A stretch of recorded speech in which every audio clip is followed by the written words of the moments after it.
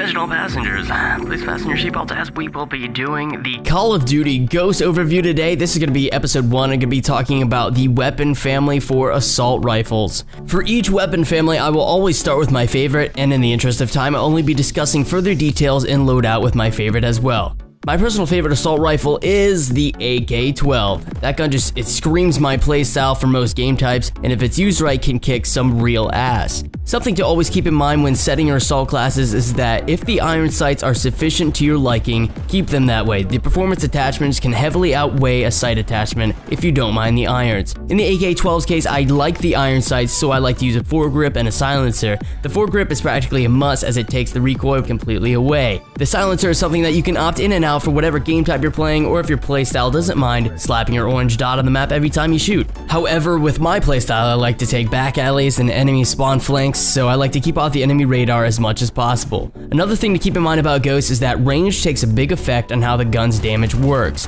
This fully automatic rifle in particular has a maximum damage of 49 and a minimum of 25. Now this is not considering the multiplier for hitting the enemy in the upper body or the head, this is just the natural damage of the weapon. And I'm pretty sure that the maximum health for someone in Call of Duty Ghosts is 100. Correct me if I'm wrong though, I am not too sure. I looked it up and I couldn't find it, but it seems like it is 100. The standard mag size for the AK-12 is 30, or 45 with extended mags. The rate of fire is 697 rounds per minute. Now, remember that it only takes a few bullets to kill someone, so 30 can be a very sufficient mag size, and I wouldn't waste an attachment on extended mags. To give myself more perk slots, I usually don't use a secondary with this loadout. I do, however, like to use an IED and a concussive grenade. The perks that I like to use are Ready Up, Sleight of Hand, Dead Silence, Amplify, and Focus. However, if you do not use a headset while playing, I would recommend swapping out Dead Silence and Amplify as those are really just for being a sound whore. Overall, this gun is very universal for different game types, and I'm gonna give it a 10 out of 10 on the assault rifle scale.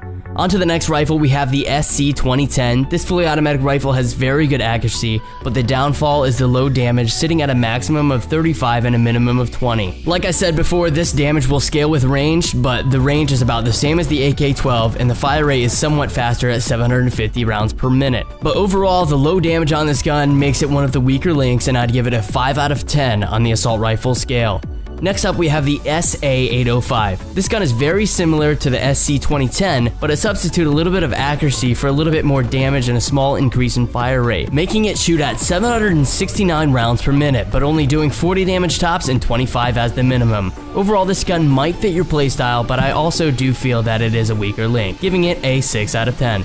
The next fully automatic rifle is back from Modern Warfare 3. This is the FAD. This is a very unique assault rifle, having a fire rate of 882 rounds per minute and also maintaining a high accuracy. However, that means the damage is somewhat low, actually very low, max of 34 and a minimum of 25. This gun is great for people that are better with SMGs and like that faster fire rate, small map kind of play, but I'm more of a higher damage kind of guy, so I'm going to give it a 6 out of 10. Moving on to my second favorite is the Remington R5. This gun is very similar to the AK AK-12 but has slightly slower fire rate and is very slightly less accurate. However, it does have more range than the AK-12. The maximum damage on this guy is 49 and the lowest is 20. This gun is a perfect substitute for the AK-12 if you're playing a larger map and can be just as effective. I give it a 9 out of 10. And next up we have the MSBS, another unique rifle that can be customized for single, 3 round burst and automatic fire. It has a very high maximum damage of 55 and a low of 20. In fully automatic mode, this gun is similar to the AK-12 but actually deals more damage. Overall, due to the customization available and the amount of punch it brings, I'm rating this one an 8 out of 10. Second to last comes the Honey Badger, another gun that I really like because it has a built-in silencer allowing you to use other beneficial attachments. The damage on this gun only caps out at 42 and bottoms at 20,